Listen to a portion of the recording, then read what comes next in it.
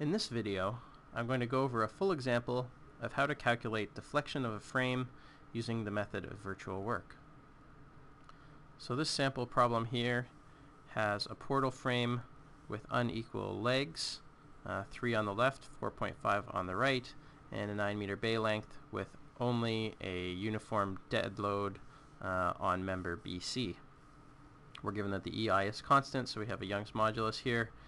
We have a constant second moment of area of 600 times 10 to the 6 millimeters to the fourth. And we're asked to find the horizontal deflection of point C here. So it's interesting to note that even though there's only vertical loads on this frame, due to the existence of this roller and the ability of this frame to deform, point C is able to move left and right. And we're going to use the method of virtual work to find out just how far it's going to move. So, as usual, I'm going to start by finding the reactions, which I'll do quickly. So now I've found all three reaction components, the vertical at A, and the vertical and horizontal at D. And then so now we're going to do a regular frame analysis so that we can determine the internal forces in our frame for our real system here. Then later we're going to develop a virtual system and we'll go through a structural analysis of that system as well to find the virtual internal forces uh, for that system. Then we're going to combine these two systems in order to find our deflection using the principle of virtual work. So we have to go through this system. I'm going to do it explicitly, even though this is quite a simple system. So I'm going to start with member AB. So this is a free body diagram of member AB with the known and unknown forces shown. This 135 is our vertical reaction at A. And then we have to solve for these three unknowns. And if you want uh, another good example of frame analysis, there's a separate video that goes through a full frame analysis. So I'll go through this one pretty quickly. So let's solve for these unknown forces. And I come up with these forces. So you see that there's only an axial load on this member so it's actually not going to come into play for our virtual work analysis. But I'm going to carry these uh, loads, these unknown loads at the cut that I've made at this corner onto member BC to do the analysis of that member.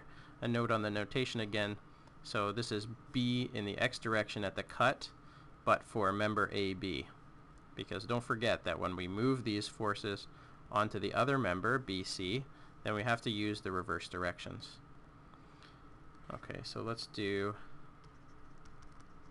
member BC. So I will draw the free body diagram for that member down here.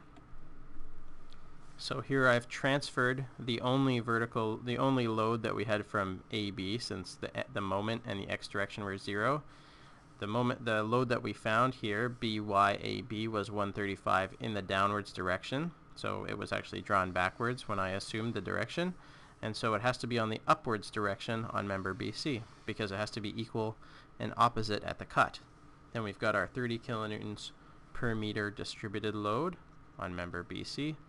And then again, these are the unload, uh, sorry, the unknown uh, loads and moment at the cut between member BC and member CD.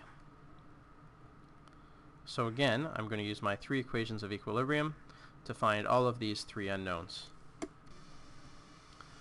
So we see again that the moment at the end uh, equals 0, which we found using equilibrium, and we have a cy bc here, which is 135 in the up direction, so this is a symmetric system here, and uh, fx again is equal to 0. So we can again transfer those forces and this is an optional step but it uh, does help to draw the free body diagram and it does help to check that the answers that we've gotten so far are right.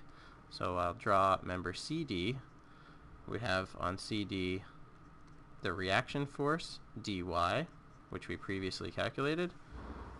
And then we have the only force that transmits over cy which is up on C for BC so it has to be down on C for CD so it's 135 kilonewtons and we can easily see that this member is in equilibrium.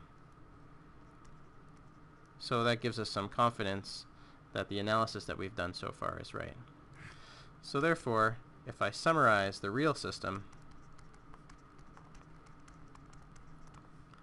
okay, then I can show the shear forces, kilonewtons, which look something like this. Okay, so here's our backbone frame.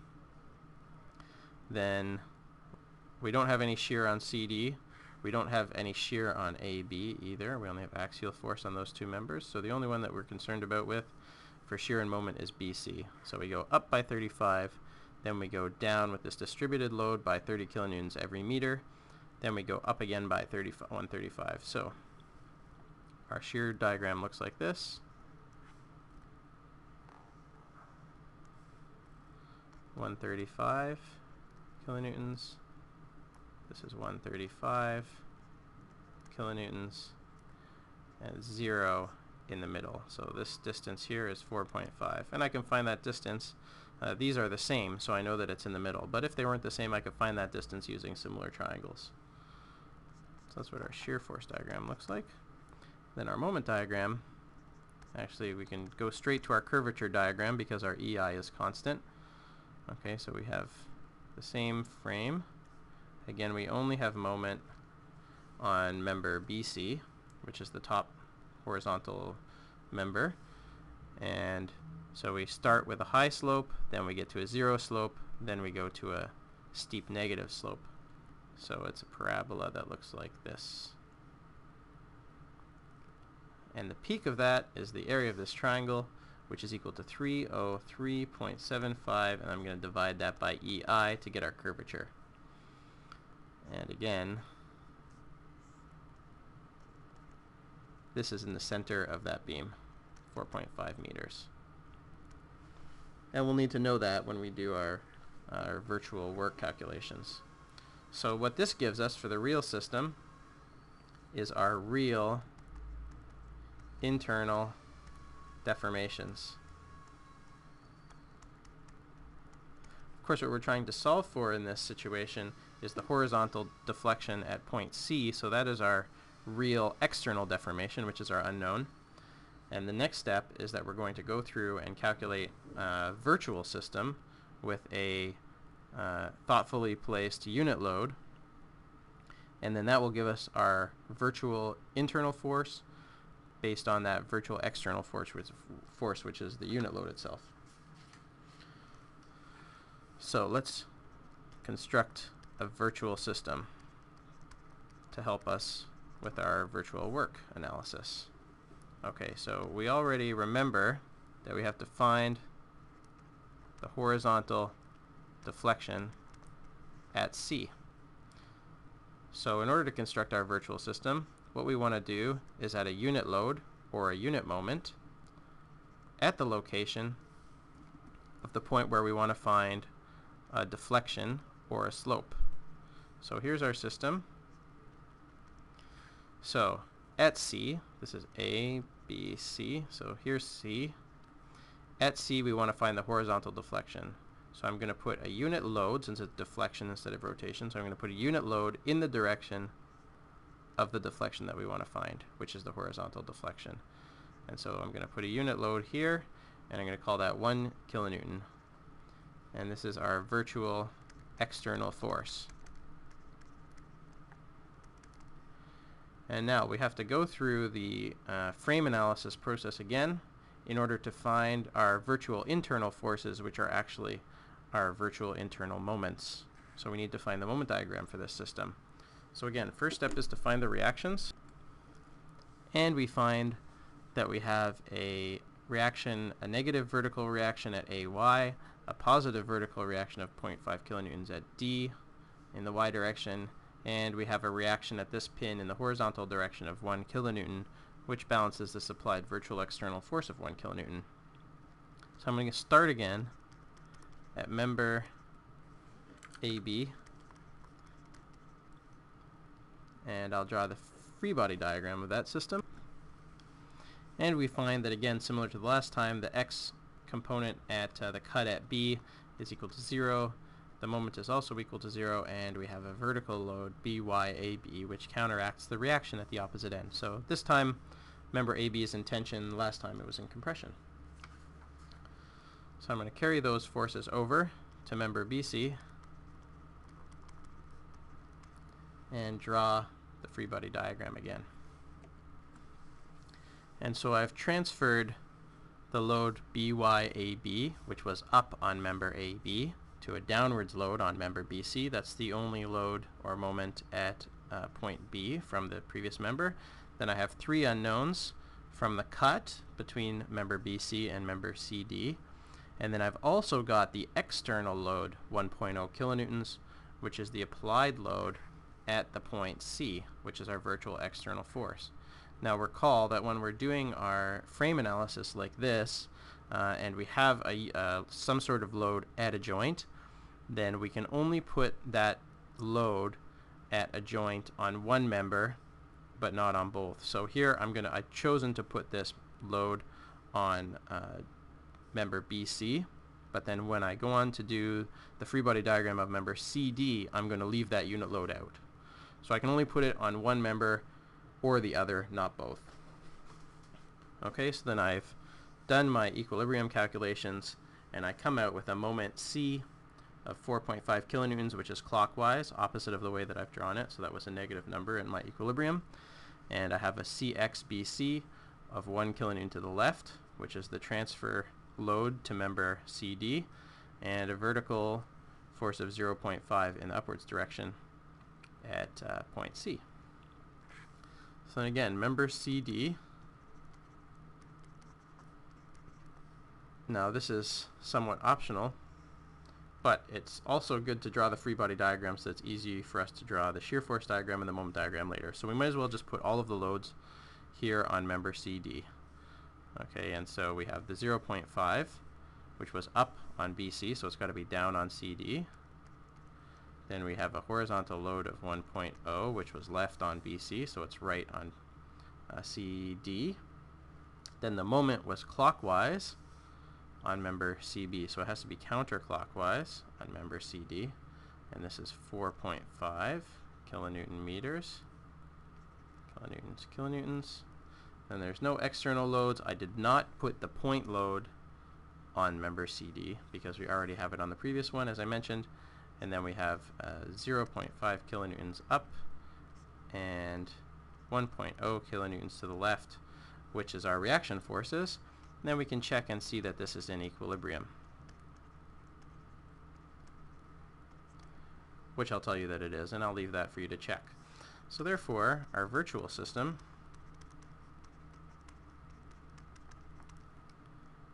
looks like this. So if I want to draw the shear force diagram, which we're not really interested in but can help us draw our moment diagram, it looks like this.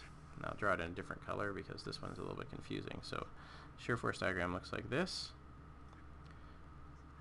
So for member BC, we go down by 0.5, then we go up by 0.5. So this is 0.5 and constant all the way along. And then we have a moment a shear force of 1 1.0 on member CD because we have one uh, out and then one back in. So I'm going one out and one back in. Okay, now it's interesting also to note that uh, this could be seen as going down instead of up. So really, how you rotate member CD uh, doesn't really matter. I like to go around the outside, so so this member here, I would rotate it down. This member I would look across, and then this member I would rotate it up. So as if I was just stretching this piece out into one continuous beam. And that's the way I look at the directions. So when I start drawing the shear force diagram for AB, I start at A and I move to B. Then for BC, I start at B and move to C.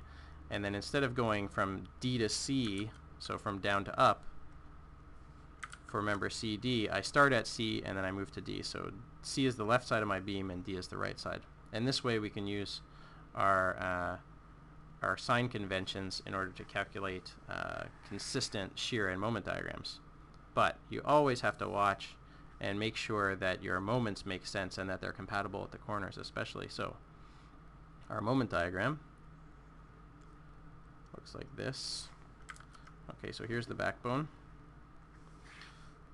Okay, then we have no moments on member AB. member BC, we have no moment here, which increases to a moment of 4.5 at member at point C. And now, so this is a clockwise rotation. So if this is clockwise, like this, you got to remember that these arrows at the end of the beam point towards the compression side. So we're drawing our moment diagrams on the compression side. So I'm going to draw it like this. This is 4.5. Okay. And then we can look at member CD, which also has a 4.5 moment at one side and 0 moment at the other. So this is a triangular shape as well. And this points towards the compression side. Okay, this counterclockwise. So the compression side is on the inside here, which is over here. Okay, that's 4.5.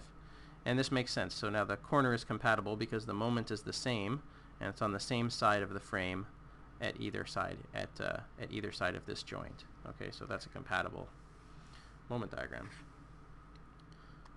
And this gives us our virtual internal forces. Okay. So now that we know those virtual internal forces, uh, for our virtual system, we know our virtual external force, uh, which is our applied unit load. We know our real internal deformations from our real system moment diagram. And what we're trying to find is our real external deformation, which is the deformation of point C to the right. So we have everything that we know to do our virtual work analysis. Okay, so let's calculate. Our first step is to calculate our internal virtual work. Okay, and you can use integration to do this, or you can use a table. I'll do it both ways, but I'll start with the table. So let's take a look at what a virtual internal work uh, analysis looks like. So what we need to do is we need to find, remember, the integration of MVM over EI dx. This is our internal virtual work. Right? So in order to find the integration of these two, we need the virtual moment diagram and we need the real moment diagram. And these two we're going to put together, or we can say the real curvature diagram if we consider m over ei altogether. So we need to find the integration of the product of these two. Now we can find equations for each of these and then find the product of those equations and then integrate. That's one way. Or we can use a table based on the shapes. So here I have on my real system a parabola shape and I want to multiply that parabola at every point times our triangle for the virtual internal forces and then I'm going to I want to integrate that product. Now I can do that easily by taking a look at what the answer is. So here's an example of a virtual work integration table that I made. Um, so you see we're finding the integral of the product of these two uh, shapes. Okay, so if we have a parabola and we have a triangle, then the integral of the product of these two, which is what we're trying to find, is 5 lmq over 12. L is the length, which is common between the two shapes. M is the height of the triangle, Q is the height of the parabola, and 5 over 12 is a constant that allows us to find that area. You can see that there are a lot of different uh, types of analysis, uh, a lot of different types of integrals that you can do here by combining rows and columns. So let's look at our particular case and figure out what to do. So you'll notice that that parabola was only a half parabola in the table. So we have to look for half parabolas that end with a slope of 0. So we're going to split this into two half parabolas. So we have shape 1 and we have shape 2 and deal with them separately. Now there's no moment on this leg so we know that the internal virtual work for this leg is going to be equal to 0 even though there's a moment on the leg in the virtual diagram. So that's because a product of something times nothing is nothing, right? So we're only concerned with the moment in our virtual uh, in our virtual system uh, on member BC. BC. Okay, so now we have this triangle, but we're going to have to divide it into two pieces, one and two, because we need the shapes that we're integrating to be of the same length. So since we have to deal with a half length here, because we can only have a solution for a half parabola, then we have to divide this into a triangle and a trapezoid. Okay, and deal with these two separately. So we need the height here, which from similar triangles is just equal to half of the total height, because this is at 4.5 meters. And that is equal to 2.25 here. Okay, so what we do is we go work virtual internal. Okay, our first piece is a parabola times a triangle, and the short side of the parabola and the short side of the triangle are on the same side. So we go to our table, we have parabola, we have a triangle, where the parabola and the triangle have the uh, short side on the same side. If we didn't have the short side on the same side, then then we could look at this other triangle that's down near the bottom. Okay, so we would get a different response here. But so we have it on the same side. So we know that our integral of the product is 5 over 12 LMQ. So let's just put that in over here. So we're going to have 5 LMQ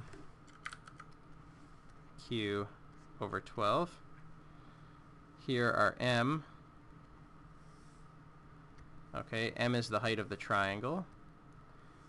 So for us, that's 2.25. So this is negative 2.25 since it's on the negative side of the moment diagram. And then our Q is the height of our parabola, which is equal to 303.75 over EI. 303.75 over EI. Okay, so we'll call this shape 1, and this is a triangle times a parabola. Okay, and then the second shape that we have, we have a parabola again, okay, in the opposite direction, so the top, the high side is on the left, and then we have a trapezoid on the right for shape 2. Okay, so we go back to our table. We find parabola, trapezoid. Okay, MA, MB is going to become important, okay?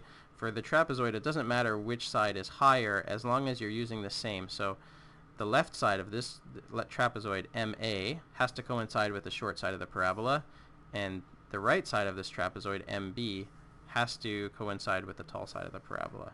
So here we have LQ over 12 times 3MA plus 5MB. So let's put that in here. LQ over 12 times 3MA plus 5MB. Okay, our Q is the height of the parabola again, which is 303.75 over EI. Okay, now our MA, as we said, MA has to coincide with the short side of the parabola. The short side of our parabola is on the right. Okay, so we need the height of the trapezoid on the right for MA, which is 4.5. MA is 4.5. And then MB is the short side of the parabola, which is 2.25. And these are both negative because they're on the bottom with respect to the parabola, which was on the top. Okay, so this is 2.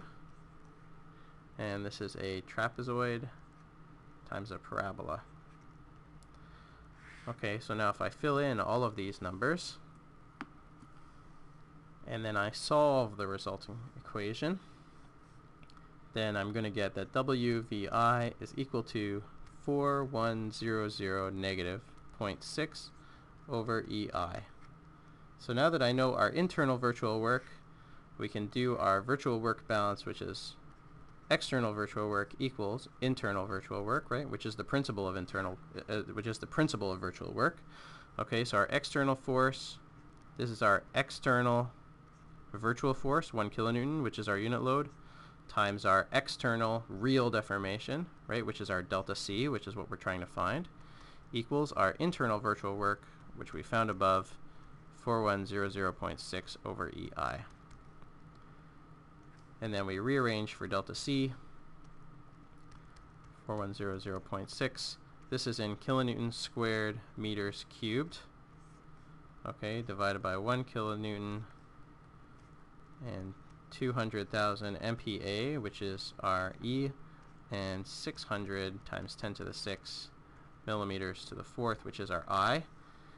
And if we keep track of our units properly, okay, because these are kilonewton meters, and this is kilonewtons, and this is newtons per millimeter squared, and this is millimeters to the fourth, then we get delta C is 34.2 millimeters, okay, and this is negative.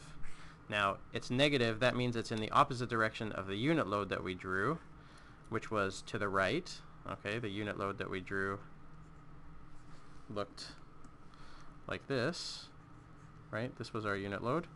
So therefore, since this came out negative, it has to be to the left. Okay. And so we found our lateral deflection of point C for the real system. So this is our external deformation of the real system. And we've solved our problem. Now we might want to look at this problem in a different way and find out if we can do this using integration instead of using the table. So for some problems, this might actually be easier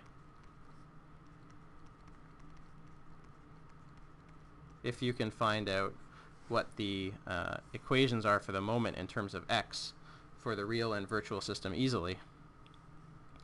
So we only have moment curvature, moment or curvature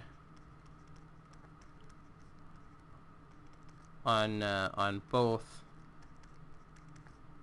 real and virtual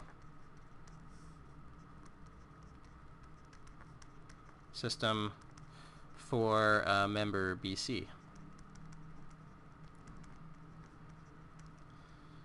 So this is what we found before.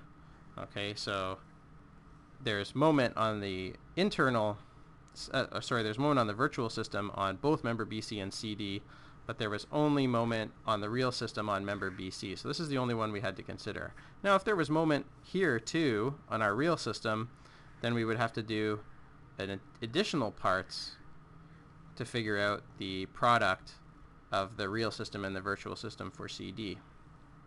But in this situation we only have BC, so we're only going to look at finding the equations for the moments for that branch. Okay, so our real system, okay, looks like this. Okay, so we have BC, okay, this is the moment, that's 303.75. Okay, and we'll say that X starts from B. So this is, remember, BC. Okay, and this continues off. Alright, so recall, okay, we need to find an equation for this parabola.